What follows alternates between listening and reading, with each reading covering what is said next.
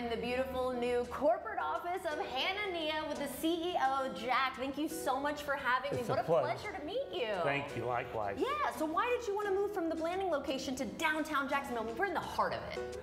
Well, you know, downtown Jacksonville's coming around, and there's a lot of great projects, and we want to be in the middle of it. We want to be involved, and uh, I'm all about our community. Right. I'm all about the people in our community, and uh, to have a strong community, you have to have a strong downtown. Yeah. What do you think has allowed you to have such success and be able to expand like that?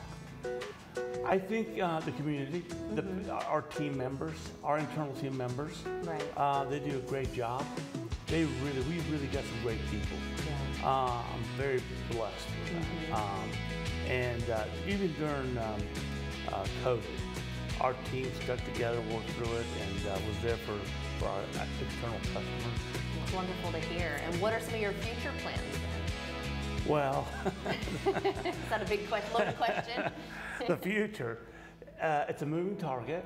Okay. Uh, but we want to, we're up and down the, the East Coast. We Right. have a Porsche store in Pittsburgh.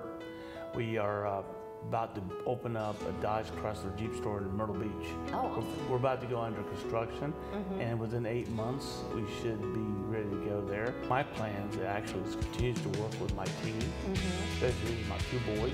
Yeah. They uh, they're um, uh, join the company and um, make sure the transitioning happens in a good, solid, you know. Yeah. Get the uh, get the cult, get the mindset to understand how um, to do business, when to do business, and take care of the team members. Yeah. That's very important. Our external and internal team members. And you mentioned how the community has really had your back and allowed you to become so successful. So what do you do to give back to the community? Well, we're always, um, first of all, the community, this community, Jacksonville, I'm from here. Grew up This is home. This is home. Yeah. This is my, this is the pride and joy, right? Um, we're always want to, first of all, we deal with the local people. Any vendors is local. Uh, there's a saying in our company, you know, act local, think global. So, um, yeah, everything we could do to help the people and hire and bring people within the community and give them a better uh, opportunities is the way to be. Well, congratulations on all your success and the expansion uh, coming up, of course, uh, Myrtle Beach. Very, very exciting stuff. I didn't actually know that you were all down the East Coast. So that's really cool. But good luck with the boys. Thank you. I need all I can get. and if you'd like to see this interview again, everyone, just head to First Coast News Plus.